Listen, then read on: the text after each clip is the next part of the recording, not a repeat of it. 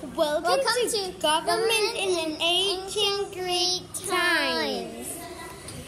The democracy began in ancient Athens in 506 BCE.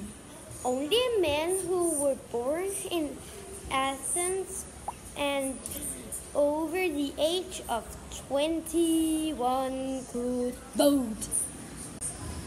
There was a council that was made up of 50 men.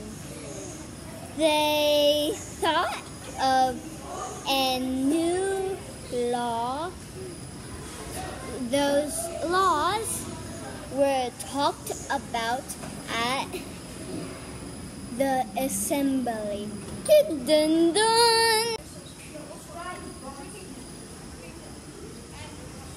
They met on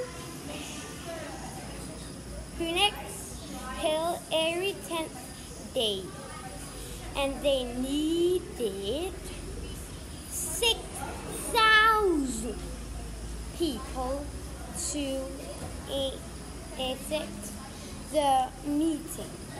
If not enough people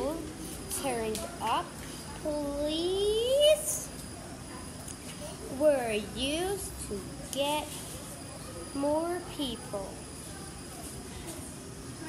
Any bad politician could be vote against him. He would have to leave Athens for 10 years. I hope you enjoyed our video. Bye bye. And bye bye.